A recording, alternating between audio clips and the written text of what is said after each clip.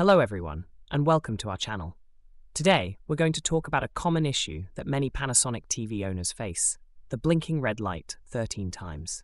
This can be quite alarming, but fear not, as we will discuss what this means and what you can do to address it. So, why does your Panasonic TV blink the red light 13 times? Well, this blinking is actually an error indication code, specifically related to the A board of the TV.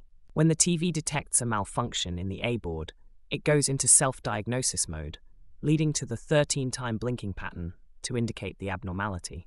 Now let's talk about what you can do to address this issue. The first step is to try a hard reset. This can be an effective method to resolve the 13 time blinking issue. If the hard reset doesn't work, further diagnosis of the internal circuit may be required. According to the service manual, the 13 blink error code indicates a problem on the A board of the TV. This error code is specifically related to a communication failure inside the main processor chip mounted on the A board. In conclusion, if you encounter the 13 time blinking red light on your Panasonic TV, it's likely due to a malfunction in the A board.